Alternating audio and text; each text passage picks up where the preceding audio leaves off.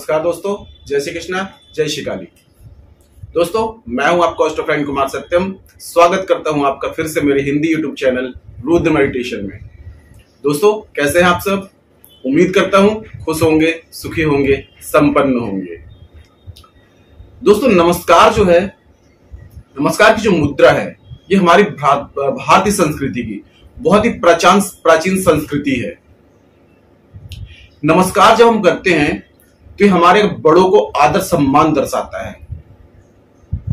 लेकिन नमस्कार के पीछे दोस्तों, एक एक्यूप्रेशर पद्धति एक्यूप्रेशर पद्धति और साथ में से कुछ वैज्ञानिक तथ्य भी हैं।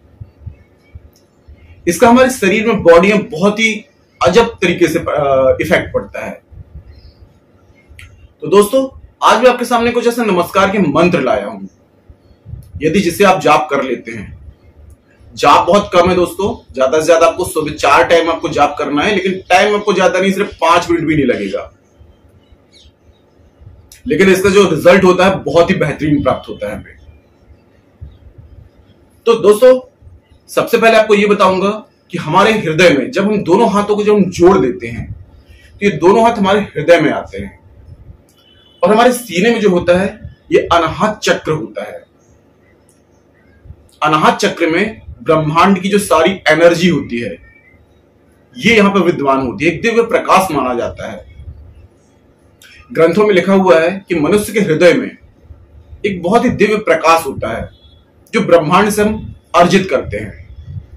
और जब दोनों हाथों को हम जोड़ते हैं, नमस्कार करते हैं तो हमारी दसों उंगलियों के द्वारा, जब ये दसों उंगलियाँ या तंत्रिकाएँ जब हमारे जुड़ जाती हैं, और इन्हीं दोनों हाथों को जब हम सीने में रखते हैं तो ब्रह्मांड की एक जो सकारात्मक ऊर्जा है, वो हमारे शरीर में प्रवेश करने लगती है। यानी कि हमारा मन जो चंचल होता है, कुछ टाइम के लिए वो शांत हो जाता है। और दोस्तों, कहा जाता है कि एक्यूप्रेशर पद्धति में कहा गया है कि दोनों हाथों को जब हम जोड़ते हैं तो इनमें एक प्रेशर पड़ता है। जब दोनों हाथों को हम ऐसे जोड़ देते हैं तो इन दोनों उंगलियों के थ्रू हमारे हाथों से एक प्रेशर बनता है। जिसके द्वारा हमारे कान, मस्तिष्क और आँखों पर थोड़ा सा दबाव पड़ता है। जिसके कारण आँखें भी मज़बूत होती हैं, याददाश्त भी तेज होती है और कान से संबंधित कोई रोग है तो वो भी दूर होता है। इसलिए दोस्तों, प्राचीन काल के लोगों ने हाथ जोड़कर, हाथ जोड़ करके प्रणाम करने की ये संस्कृति बनाई है। क्योंकि इसका वैज्ञानिक कारण है। अब इसी के द्वारा हम यदि कुछ मंत्रों का चैंट कर लेते हैं तो इसमें जो ध्वनि होती है, उसके द्वारा जो एनर्जी निकलती है। अब दोस्तों, ध्वनि किस चीज़ की है किस चीज़ के लिए हम कर रहे हैं? धन प्राप्ति के लिए कर रहे हैं तो धन प्राप्ति का मंत्र ही पढ़ेंगे।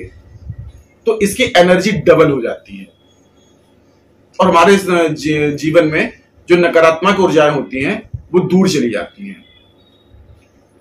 और दोस्तों, हमारा हृदय भी मज़बूत होता है। और एक चीज़ और दोस्तों, कि हम जब पूजा करते हैं, आरती करते हैं तो हम ताली बजाते हैं। ज़ोर ज़ोर से ताली बजाने का नियम है। आपने देखा होगा, जब भी हम कोई आरती करते हैं, पूजा करते हैं तो हम ज़ोर ज़ोर से ताली बजाते हैं। तो ताली बजाने के पीछे भी दोस्तों एक वैज्ञानिक कारण है। जो लोग भी शुगर से परेशान हैं, वो कम से कम 10 मिनट तक पूरी ताकत से जब उल्टे हाथ में ताली बजाएँगे तो काफ़ी हद तक उनकी शुगर कंट्रोल हो जाएगी। दोस्तों, सनातन धर्म एक विज्ञान है तो दोस्तों, मैं कुछ आपको ऐसा मंत्र दूँगा। मैं आपको दस मंत्र दूँगा। आप दस में से एक मंत्र भी ले सकते हैं, दो मंत्र भी ले सकते हैं, तीन भी ले सकते हैं, चार भी ले सकते हैं। आपको जितना समय है, आप उसके हिसाब से आप मंत्र ले सकते हैं। आपको एक मंत्र को नमस्कार की मुद्रा में खड़े होकर के आपको चार बार, यानी कि चार टाइम में आपको मंत्रों का जाप करना है। तो आपको एक सुबह जब आप सुबह में उठेंगे, तब आपको इस मंत्र का जाप करना है पाँच बार। अगर आप दो मंत्र ले रहे हैं तो पाँच बार पहला मंत्र, पाँच बार दूसरा मंत्र। अब यदि आप तीन मंत्र जाप कर रहे हैं तो एक बार पाँच मंत्र पहला मंत्र पढ़ेंगे, फिर पाँच बार दूसरा मंत्र पढ़ेंगे, फिर पाँच बार तीसरा मंत्र पढ़ेंगे। और यदि आप दसों मंत्र ले रहे हैं तो आपको पाँच पाँच बार अलग अलग दसों मंत्रों को पढ़ना है। तो दोस्तों, ये धन प्राप्ति का मंत्र है। आपको नमस्कार की मुद्रा में जब आप सुबह उठ जाएँगे तो आपको सुबह उठ करके हाथ पैर धो लेना है। साथ ही साथ ब्रश वगैरह कर लें, थोड़ा सा साफ़ सुथरे हो जाए। उसके बाद में आपको इन मंत्र का चैंट करना है, यानी कि जाप करना है। तो संपूर्ण जानकारी बताने से पहले दोस्तों, आपको बता दूँ कि अगर आप हमारे चैनल पर नए हैं तो हम इस चैनल के माध्यम से हमारे प्राचीन ग्रंथों में जो खास उपाय, गूढ़तम रहस्य, टोने टोटके इन सभी की जानकारी आपको प्रदान करते हैं। अगर आप भी इस प्रकार की जानकारी में रुचि रखते हैं तो चैनल को सब्सक्राइब कीजिए, साथ ही साथ बेल आइकन को प्रेस कर लीजिए। इससे हमारे द्वारा दी जाने वाली हर एक जानकारी आपको आसानी से और तेज़ी से प्राप्त होगी और आप इस जानकारी का लाभ प्राप्त कर पाएँगे। तो शुरू करते हैं आगे की जानकारी। तो दोस्तों, आपको मैं दस मंत्र दूँगा, आपको स्क्रीन में भी दिख जाएँगे और डिस्क्रिप्शन बॉक्स में भी आपको दिख जाएँगे। तो सबसे पहले आपको सुबह उठना है अपना जब आप बिना नहाए भी आप इस मंत्र का जाप कर सकते हैं। जो लोग सुबह नहा लेते हैं, उनके लिए अच्छा है, और जो लोग सुबह नहीं नहा पाते हैं तो हाथ पैर धोकर भी इस मंत्र का जाप कर सकते हैं।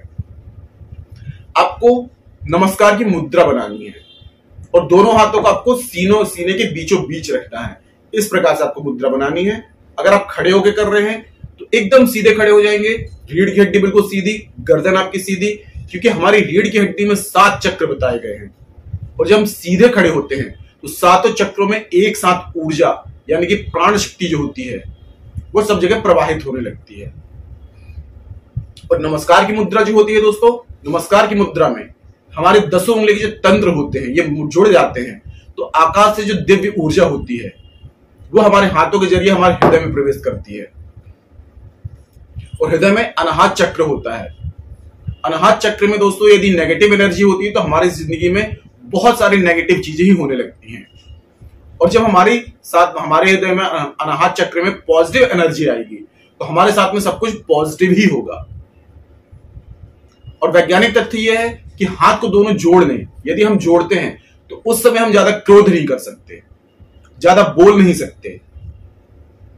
तो यह हमारे एक तरफ़ एक तरफ़ से दिमाग को तेज करने के लिए, आँखों को तेज करने के लिए, कानों को तेज करने के लिए, स्वस्थ रखने के लिए भी ये मुद्रा है। तो दोस्तों, ये आपको दो तरीके से काम करेगा।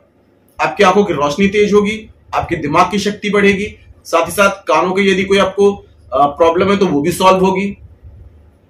तो आपने क्या करना है? दोनों हाथों को आपको जोड़ के, रीढ़ की हड्डी सीधी रहे आपकी, गर्दन सीधी रहे। यानी आपकी जो ऊपर से लेकर नीचे तक की जो ऊर्जा एक साथ प्रवाहित हो। अगर आप बैठ रहे हैं तो गर्दन सीधी और आपकी रीढ़ की हड्डी सीधी। तब इस मंत्र का आपको जाप करना है। मंत्र सुन लीजिए दोस्तों, आपको स्क्रीन में भी दिख जाएगा। पहला मंत्र है दोस्तों, ओम धनाय नमः। आप चाहे तो इस एक मंत्र का जाप कर सकते हैं। उसके बाद में है, ओम धनाय नमो नमः। तीसरा है, ओम लक्ष्म्याय नमः। ओम लक्ष्म्याय नमो नमः। ये चौथा है। अब पांचवा है, ओम लक्ष्मी नारायण नमः। छठवा है, ओम नारायण नमो नमः। सातवा है, ओम नारायण नमः। आठवा है, ओम प्राप्ताय नमः। ओम प्राप्ताय नमो नमः। ये नौवा है और दसवा है, ओम लक्ष्मी नारायण नमो नमः। अब इनमें से दोस्तों आपको एक सुबह में आपको जाप करना है। अगर आप एक मंत्र ले रहे हैं तो आपको एक मंत्र को पाँच बार जाप करना है। नमस्कार की मुद्रा में। अब दो मंत्र ले रहे हैं तो उसी मुद्रा में पहले एक मंत्र को पाँच बार चैंट करेंगे, फिर दूसरे मंत्र को चैंट करेंगे, पाँच बार। अब तीन मंत्र ले रहे हैं तो एक मंत्र को पाँच बार जाप करेंगे, और फिर दूसरे मंत्र को पाँच बार जाप करेंगे, फिर तीसरे मंत्र को पाँच बार जाप करेंगे। तो ऐसे आप दसों मंत्र ले रहे हैं तो दसों मंत्र को अलग अलग पाँच पाँच बार आपको जाप करना है। अब दूसरा टाइम जो है दोस्तों, वो दोपहर को। दूसरे टाइम आपको दोपहर को जाप करना है। अब दोस्तों, आप अपनी शक्ति अनुसार देख लीजिए कि आप चारों टाइम में कितने मंत्र चैंट कर सकते हैं। अब दोपहर में यदि आप कर रहे हैं तो पाँच बार आपको जाप करना है, उसके बाद में संध्या काल। संध्या काल में दोस्तों, ये बहुत ही विशेष काल होता है। दिन का अंत और रात्रि की शुरुआत। इस समय कहा जाता है दोस्तों, पूर्व दिशा जो होती है, यहाँ पे पॉजिटिव एनर्जियों का निवास होता है, यानी कि देवताओं का वास होता है। और पश्चिम दिशा जो होती है, यहाँ पर दैत्यों का वास माना गया है।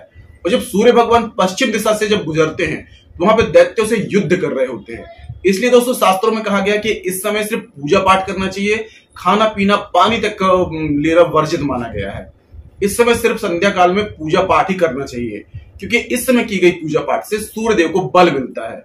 और हमारी कुंडली में सूर्य देव बलवान होते हैं। और सूर्य बलवान होने पर दोस्तों जनजातक को मान सम्मान, प्रतिष्ठा, धन, दौलत सब कुछ प्रदान करते हैं। तो आप विशेष ध्यान दें कि जो गूगल में सर्च करें कि सूरज डूबने का समय क्या है तो सूरज डूबने के पंद्रह मिनट पहले आप इस क्रिया को शुरू कर दें। तो इसमें कुछ बहुत ही, बहुत ज़्यादा अच्छा फल मिलेगा। सूरज जब डूब रहा होगा, आप टाइम देख लेंगे कि सूरज अगर छह बजे डूब रहा है तो आप पाँच बज के पैंतालीस मिनट में इस मंत्र का जाप शुरू कर दे और उसके बाद में रात्रि में आपको इस मंत्र का जाप करना है, सोते हुए। जब आप पूरे कामों से फ्री हो जाए, खाना पीना खाने जब सीधे सोने जाने लगे तो बिस्तर में बैठ के ही आपको जैसे कि मैंने बताया, नमस्कार की मुद्रा, रीढ़ की हड्डी सीधी, गर्दन सीधी, और हाथ को ऐसे ला करके। इसी मंत्र का कोई एक मंत्र ले रहे हैं तो एक मंत्र को ही आपको जाप करना है। और दोस्तों, एक चीज़ और याद रखें। यदि आप एक ही समय में इसका जाप करते हैं, अगर आज आपने सुबह आठ बजे किया तो कल भी इसको आठ बजे करेंगे, परसों भी इसको आठ बजे करेंगे तो इसका दुगना प्रभाव बढ़ जाएगा। बारह बजे कर रहे हैं तो नेक्स्ट डे भी आप बारह बजे करेंगे, फिर नेक्स्ट डे बारह बजे करेंगे। कम से कम ट्वेंटी वन डेज़ या फोर्टी वन डेज़ तक कंटिन्यूस मंत्र का जाप कीजिए। तो आप देखेंगे, बहुत अच्छा रिज़ल्ट मिलेगा आपको। अब ऐसे शाम को आप कर रहे हैं, शाम को दोस्तों आपको यह करना है कि सूरज का गूगल में सर्च करके कि सूरज डूबने का टाइम क्या है? और रात्रि में जो कर रहे हैं, अगर नौ बजे कर रहे हैं, दस बजे कर रहे हैं, साढ़े दस बजे कर रहे हैं तो उसी टाइम पे करें। लेकिन संध्या काल को सूरज डूबने के पंद्रह मिनट पहले, आप चाहे तो आगे पीछे भी कर सकते हैं, कोई दिक्कत नहीं है। लेकिन ये जो होता है, इसका समय, ये सूरज डूबने का जो होता है, ये रात्रि का अंत दिन का अंत और रात्रि की शुरुआत बहुत ही प्रभावशाली समय होता है। आप ये भी कर सकते हैं, जो आपको सही लगता है अपने हिसाब से देख लेंगे। तो दोस्तों ये धन प्राप्ति के कुछ उपाय थे जो मैंने आपको बताया। अगर जानकारी पसंद आई है तो वीडियो को लाइक कीजिए, शेयर कीजिए, साथ ही साथ कमेंट बॉक्स में जय श्री कृष्णा, जय श्री काली ज़रूर लिखिए। इससे माता रानी की और दैवी कृपा आपको प्राप्त होगी। तो मिलते हैं दोस्तों नेक्स्ट वाली वीडियो में। तब तक के लिए जय श्री कृष्णा, जय श्री काली। आप और आपका परिवार हमेशा स्वस्थ रहे, सुखी रहे, संपन्न रहे।